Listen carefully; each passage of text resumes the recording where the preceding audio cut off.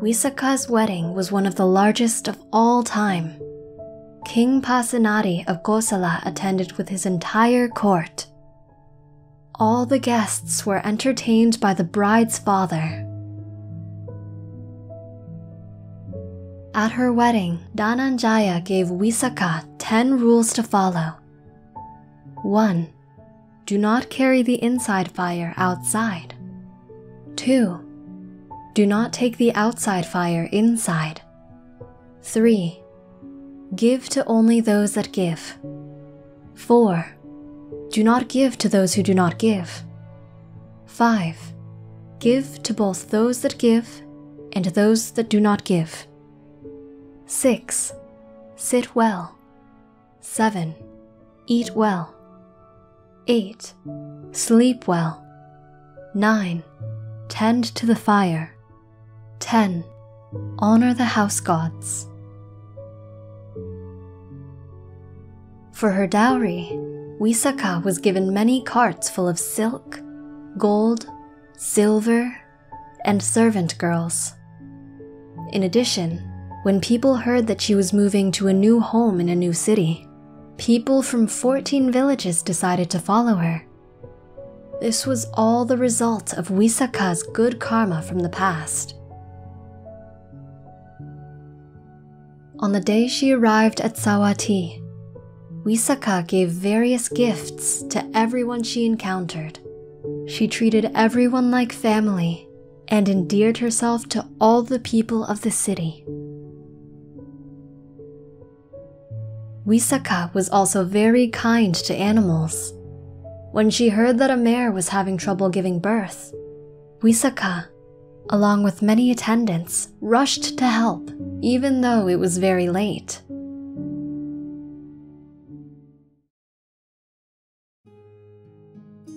Visakha's father in law, Migara, was a worshipper of naked ascetics. He never invited the Buddha for alms. One day, Migara invited Visakha to pay homage to Arahants. Visakha, understanding that the Buddha's monks were there, was very excited.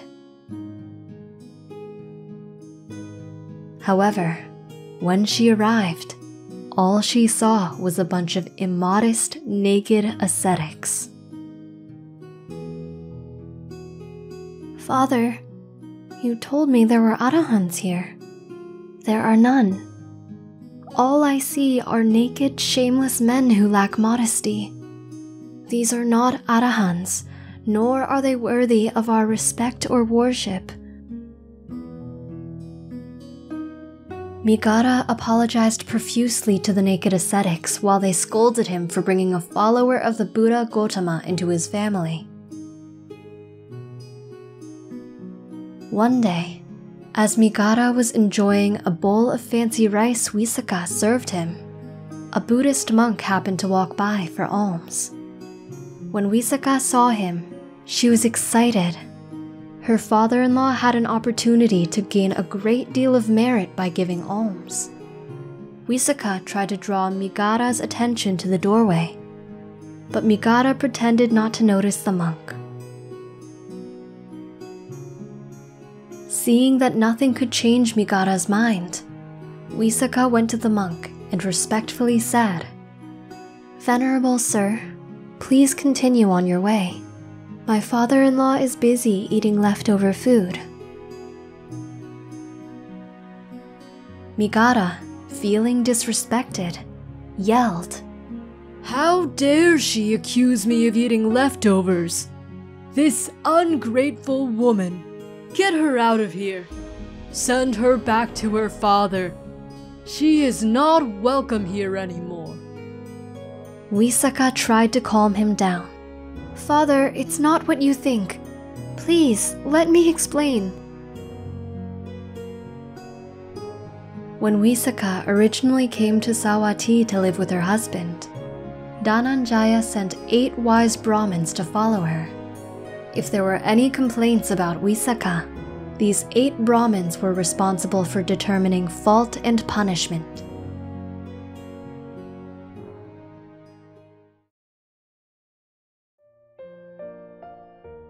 Migara demanded that the eight Brahmins fault Visakha and send her home. He said, This woman accused me of eating leftovers. I am a wealthy man and have never had to eat leftovers in this lifetime. The Brahmins asked her if this was true. Visakha explained, It is true. I did say this. Migara pounced on the confession. See? She admitted it. She's guilty. Visakha explained further. He misunderstands. I did say he was eating leftovers, but not leftover food. In order for him to have so much in this life, he must have made massive amounts of good karma in a past life. However, in this life, he does not give alms to holy monks, but instead indulges in pleasure. He is living in comfort based on his old karma, which I call leftovers, but he is not creating more good karma for the future. The lead Brahmin then said, In this case, we see that Visakha is correct in what she said. She did not lie, and is therefore not guilty of what you accuse her of, Migara. Migara, not willing to give up, said, This is not the only fault I claim. I heard from servants that Visakha left the house alone in the middle of the night. Why would a woman leave her husband's bed in the middle of the night if not to do something evil and inappropriate? Visakha explained, Sirs, I did leave in the middle of the night. However, I was not alone. I was with many maids and servants. We left to go assist a mare give birth. The Brahmins then said, Again, Migara, we do not fault her for this. She is innocent of your accusation. Migara then desperately said, Well, at her wedding, her father gave her strange instructions. I do not agree with them. He told her crazy things, like not to bring inside fire out. What if neighbors ask to borrow fire? Would she not give it to them? That is selfish and wrong. Her father told her not to bring outside fire in. What if the fire in our house went out? Would she not bring fire from outside to fix it? This is wrong. The Brahmins asked, Visakha, how do you explain these accusations? Visakha explained, Yes, sirs. My father did give me ten instructions before I left. My father told me not to bring the inside fire out. This means that problems and issues inside my family should not be told to those outside the family. My father told me to not bring the outside fire in. This means that I should not bring the gossip and problems of others into my family. My father told me to give to those who give. This means that we should help and lend money to those that repay debts. My father told me to not give to those that do not give.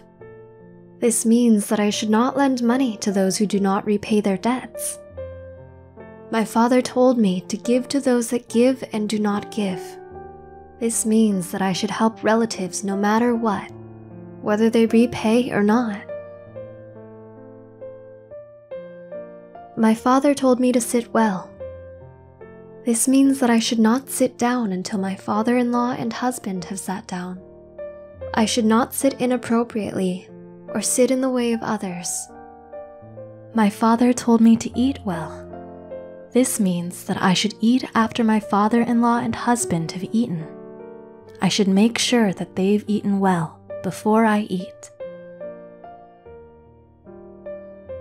My father told me to sleep well. This means that before I sleep, I should check the safety of the house. I should not sleep before my husband. I should also awaken before my husband. My father told me to tend the fire. This means that I should regard my father in law and husband as fire. they should be dealt with carefully. Any mistake or heedlessness could lead to much harm. My father told me to honor the house gods. This means that I should consider my father in law and husband as the gods of the house and treat them accordingly. These are the rules my father told me at my wedding. His intention was for me to be a good wife and daughter in law. These rules help keep harmony and happiness in the household. This is the true meaning of what he said. The Brahmins then said, Migara, we cannot fault Visakha for following her father's commands. The teachings are wholesome and beneficial to you. We cannot fault her for any of your accusations. She is innocent of all charges.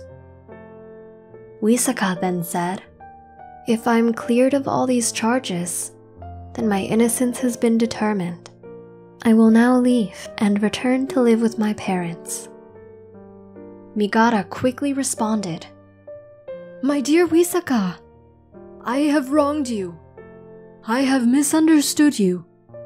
Please forgive me. I, I do not wish for you to leave. Visakha responded, Father, how can I stay here? When I lived with my parents, I saw the Buddha and his monks often.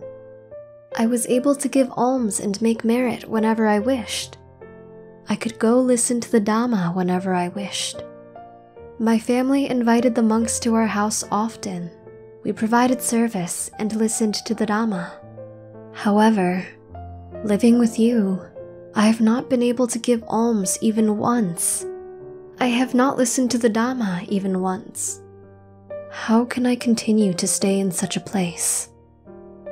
Daughter, daughter, do not worry. You can invite monks to our house as you please. You can give alms as you please. You can go listen to the Dhamma as you please. Just please stay with us. I could not hope to have a better daughter in law than you. Visakha then said, If it will be as you say it will be, then I will stay. What did you learn from this story? Let us know in the comments. We hope you enjoyed the video. Click like if you did, and click subscribe if you want to see our uploads. And consider making a donation to support our Buddhist animation project.